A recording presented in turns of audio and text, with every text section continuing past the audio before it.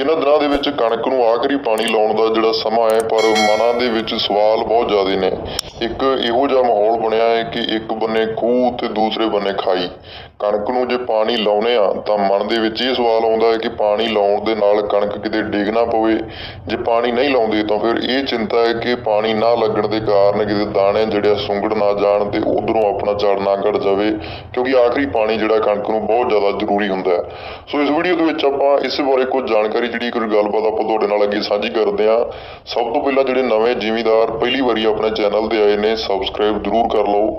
ਨਾਲ ਲੱਗਾ ਬੈਲ ਦਾ ਬਟਨ ਦਬਾ ਲਓ ਤਾਂ ਕਿ ਹੋਰ ਇਸੇ ਤਰ੍ਹਾਂ ਦੀਆਂ ਖੇਤੀਬਾੜੀ ਦੇ ਨਾਲ ਸੰਬੰਧਿਤ ਆਉਣ ਵਾਲੀਆਂ ਵੀਡੀਓ ਤੁਹਾਡੇ ਤੱਕ ਪਹੁੰਚਦੀਆਂ ਰਹਿਣ। ਕਣਕ ਦੇ ਵਿੱਚ ਆਖਰੀ ਪਾਣੀ ਦਾ ਧਿਆਨ ਰੱਖਣਾ ਬਹੁਤ ਜ਼ਿਆਦਾ ਜ਼ਰੂਰੀ ਹੈ। ਜੇ ਇਹ ਥੋੜਾ ਜਿਹਾ ਵੀ ਉੱਪਰ ਹੇਠਾਂ ਹੁੰਦਾ ਹੈ ਤਾਂ ਆਪਣਾ ਝਾੜ ਜ਼ਰੂਰ ਡਾਊਨ ਜਾਂਦਾ ਹੈ। ਪਰ ਇੱਥੇ ਹੁਣ ਜਿਹੜੀਆਂ ਜ਼ਿਆਦਾਤਰ ਕਣਕਾਂ ਡਿੱਗ ਰਹੀਆਂ ਨੇ, ਉਹਨਾਂ ਦੇ ਪਿੱਛੇ ਜੇ ਆਪਾਂ ਕਾਰਨ ਦੇਖਦੇ ਹਾਂ, ਤਾਂ ਜਿਹੜਾ ਤੁਸੀਂ ਇਸ ਆਖਰੀ ਪਾਣੀ ਤੋਂ ਪਹਿਲਾਂ ਜਿਹੜਾ ਇੱਕ ਪਾਣੀ ਲਾਇਆ ਹੈ, ਉਹਦੇ ਉੱਪਰ ਡਿਪੈਂਡ ਕਰਦਾ ਹੈ ਕਿ ਤੁਹਾਡੀ ਇਸ ਪਾਣੀ ਦੇ ਨਾਲ ਕਣਕ ਡਿੱਗੇਗੀ ਜਾਂ ਨਹੀਂ ਡਿੱਗੇਗੀ। ਜੇ ਤੁਹਾਡੀ ਜ਼ਮੀਨ ਹੇਠਾਂ ਤੋਂ ਬਿਲਕੁਲ ਚਿੱਟੀ ਹੋ ਗਈ ਹੈ। ਜਿੰਨੀ ਜ਼ਿਆਦਾ ਜ਼ਮੀਨ ਚਿੱਟੀ ਹੋਵੇਗੀ, ਉਹਦੇ ਤੋਂ ਬਾਅਦ ਤੁਸੀਂ ਇਹ ਜਿਹੜਾ ਆਖਰੀ ਪਾਣੀ ਲਾਓਗੇ ਉਨੀ ਜ਼ਿਆਦਾ ਕਣਕ ਡਿੱਗੇਗੀ। ਇਸ ਪਾਣੀ ਦੇ ਵਿੱਚ ਜਿਹੜੀਆਂ ਸਭ ਤੋਂ ਜ਼ਿਆਦਾ ਧਿਆਨ ਰੱਖਣ ਵਾਲੀਆਂ ਚੀਜ਼ਾਂ ਨੇ, ਜੇ ਦਾਣਾ ਆਪਾਂ ਕੱਢਦੇ ਹਾਂ, ਸਿੱਟੇ ਦੇ ਵਿਚਕਾਰਲਾ ਦਾਣਾ ਜਿਹੜਾ ਆਪਾਂ ਕੱਢਣਾ ਹੈ, ਨਾ ਹੇਠਾਂ ਵਾਲਾ ਕੱਢਣਾ ਹੈ, ਨਾ ਉੱਪਰ ਵਾਲਾ ਕੱਢਣਾ ਹੈ, ਜੇ ਵਿਚਕਾਰਲੇ ਦਾਣੇ ਦੇ ਵਿੱਚੋਂ ਆਪਾਂ ਨੂੰ ਥੋੜੀ ਜਿਹੀ ਵੀ ਨਮੀ ਜਿਹੜੀ ਹੈ ਦਿਖਾਈ ਦਿੰਦੀ ਹੈ, ਵਿੱਚੋਂ ਦੋਧਾ ਨਿਕਲਦਾ ਹੈ, ਤਾਂ ਕਣਕ ਨੂੰ ਪਾਣੀ ਦੀ ਜ਼ਰੂਰਤ ਹੈਗੀ ਹੈ, ਜੇ ਜ਼ਮੀਨ ਹੇਠਾਂ ਤੋਂ ਸੁੱਕਦੀ ਹੈ, ਤਾਂ ਪਾਣੀ ਲਾਓ।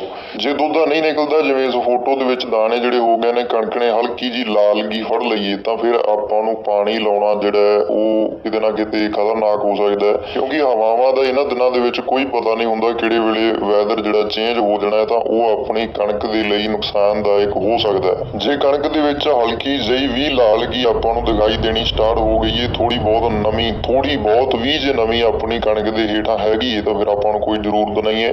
ਪਰ ਜੇ ਕਣਕ ਹਾਲੇ ਦੋਧੇ ਤੇ ਆ ਤਾਂ ਹੇਠਾਂ ਤੋਂ ਜ਼ਮੀਨ ਆਪਣੀ ਸਖਤ ਹੋਣੀ ਸਟਾਰਟ ਹੋ ਗਈ ਹੈ। ਤਾਂ ਫਿਰ ਆਪਾਂ ਨੂੰ ਪਾਣੀ ਲਾਉਣਾ ਚਾਹੀਦਾ ਹੈ ਕਿਉਂਕਿ ਦੂਸਰੇ ਬੰਨੇ ਆਪਣਾ ਜ਼ਿਆਦਾ ਨੁਕਸਾਨ ਹੋਵੇਗਾ। ਕਣਕ ਇੱਕ ਇਹੋ ਜਿਹੀ ਫਸਲ ਹੈ, ਜਿਹਦੇ ਵਿੱਚ ਜਿੰਨੇ ਵੀ ਆਪਾਂ ਤਿੰਨ ਜਾਂ ਚਾਰ ਪਾਣੀ ਲਾਉਣੇ ਨੇ, ਉਹ ਬਿਲਕੁਲ ਮੇਨਟੇਨ ਕਰਕੇ ਲਾਉਣੇ ਪੈਂਦੇ ਨੇ, ਜੇ ਇਹਨਾਂ ਦੇ ਵਿੱਚ ਆਪਾਂ ਉਤਾਰ ਚੜਾਵ ਕੋਈ ਕਰਦੇ ਆ ਤਾਂ ਆਪਣੀ ਕਣਕ ਦਾ ਨੁਕਸਾਨ ਹੁੰਦਾ ਹੈ। ਇਹੀ ਕਾਰਨ ਹੈ ਕਿ ਆਪਾਂ ਪਿੱਛੇ ਜਦੋਂ ਕਣਕ ਦੀ ਬਿਜਾਈ ਕੀਤੀ ਸੀ, ਤਾਂ ਉੱਥੇ ਆਪਾਂ ਇੱਕ ਖਾਸ ਵਕਤ ਤੋਂ ਵੀਡੀਓ ਇਸੇ ਕਰਕੇ ਪਾ ਕੇ ਆਖਿਆ ਸੀ ਕਿ ਪਹਿਲਾ ਜਿਹੜਾ ਪਾਣੀ ਹੈ ਤੀਆਂ 28 ਦਿਨਾਂ ਤੋਂ ਪਹਿਲਾਂ ਪਹਿਲਾਂ ਹੀ ਲੱਗ ਜਾਵੇ ਤਾਂ ਆਪਣੇ ਲਈ ਜ਼ਿਆਦਾ ਵਧੀਆ ਹੈ।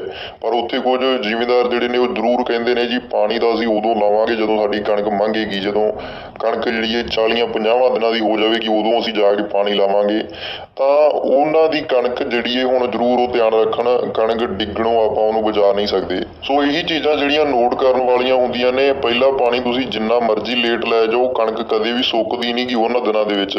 ਪਰ ਹੁਣ ਇੱਥੇ ਆ ਕੇ ਉਹਦੇ ਪ੍ਰਭਾਵ ਆਪਾਂ ਨੂੰ ਦੇਖਣ ਨੂੰ ਮਿਲਦੇ ਨੇ, ਪਹਿਲਾ ਪਾਣੀ ਲੇਟ ਕਰੋਗੇ ਤਾਂ ਕਣਕ ਤੁਹਾਡੀ ਹਮੇਸ਼ਾ ਡਿੱਗੇਗੀ। ਆਖਰੀ ਪਾਣੀ ਵੀ ਜਿੰਨਾ ਜ਼ਿਆਦਾ ਆਪਾਂ ਕਣਕ ਨੂੰ ਸੁਕਾ ਕੇ ਲਾਵਾਂਗੇ ਉਨੀ ਜ਼ਿਆਦਾ ਆਪਣੀ ਕਣਕ ਡਿੱਗਦੀ ਏ, ਨੁਕਸਾਨ ਹੁੰਦਾ ਹੈ ਟਿੱਬੀਆਂ ਦੇ ਵਿੱਚ ਕਣਕ ਜਿਹੜੀ ਡਿੱਗਦੀ, ਉਹਦਾ ਕਾਰਨ ਇਹੀ ਹੁੰਦਾ ਹੈ। ਇੱਥੇ ਇਸ ਪਾਣੀ ਦੇ ਵਿੱਚ ਜਿਹੜੀਆਂ ਧਿਆਨ ਦੇਣ ਵਾਲੀਆਂ ਚੀਜ਼ਾਂ ਨੇ, ਸਭ ਤੋਂ ਪਹਿਲੇ ਨੰਬਰ ਤੇ ਆਪਣੇ ਇਲਾਕੇ ਦਾ ਵੈਦਰ ਜਿਹੜਾ ਲਾਜ਼ਮੀ ਚੈੱਕ ਕਰੋ ਆਪਣੇ ਹਵਾਵਾਂ ਦੀ ਗਤੀ ਕੀ ਹੈ ਉਹਦੇ ਹਿਸਾਬ ਦੇ ਨਾਲ ਪਾਣੀ ਲਾਓ, ਸਿੱਟੇ ਦੇ ਵਿਚਕਾਰੋਂ ਇੱਕ ਦਾਣਾ ਜਿਹੜਾ ਕੱਢ ਕੇ ਉਹਨੂੰ ਤਲੀ ਦੇ ਉੱਪਰ ਵੇਖੋ ਜੇ ਉਹਦੇ ਵਿੱਚੋਂ ਆਪਾਂ ਨੂੰ ਨਮੀ ਦੁੱਧ ਦਾ ਜਿਹੜਾ ਦਿਖਾਈ ਦਿੰਦਾ ਹੈ, ਤਾਂ ਹੇਠਾਂ ਜੇ ਨਮੀ ਬਿਲਕੁਲ ਨਹੀਂ ਹੈਗੀ ਤਾਂ ਕਣਕ ਨੂੰ ਪਾਣੀ ਦੀ ਹਾਲੇ ਜ਼ਰੂਰਤ ਹੈਗੀ ਏ। ਜੇ ਇਸ ਫੋਟੋ ਦੇ ਵਾਂਗੂ ਦਾਣੇ ਨੇ ਹਲਕੀ ਜੀ ਲਾਲਗੀ ਫੜ ਲਈਏ ਤੇ ਹੇਠਾਂ ਥੋੜੀ ਬਹੁਤ ਵੀ ਜੇ ਨਵੀਂ ਹੈਗੀ ਏ ਤਾਂ ਫਿਰ ਕਣਕ ਨੂੰ ਆਪਾਂ ਪਾਣੀ ਨਾ ਲਈਏ, ਉਹ ਆਪਣੇ ਲਈ ਜ਼ਿਆਦਾ ਵਧੀਆ ਹੈ ਸੋ ਇਸ ਵੀਡੀਓ ਦੇ ਵਿੱਚ ਇਹੀ ਕੁਝ ਜਾਣਕਾਰੀ ਜਿਹੜੀ ਆਪਾਂ ਤੁਹਾਡੇ ਨਾਲ ਸਾਂਝੀ ਕਰਨੀ ਸੀ, ਜੇ ਚੰਗੀ ਲੱਗੇ ਕੁਝ ਹੋਰ ਜ਼ਿਮੀਦਾਰਾਂ ਤੱਕ ਸ਼ੇਅਰ ਕਰਕੇ ਜਰੂਰ ਪਹੁੰਚਾ ਦਿਆ ਕਰੋ ਵੀਡੀਓ ਨੂੰ। ਵੀਡੀਓ ਵੇਖਣ ਲਈ ਤੁਹਾਡਾ ਸਾਰਿਆਂ ਦਾ ਬਹੁਤ ਬਹੁਤ ਧੰਨਵਾਦ।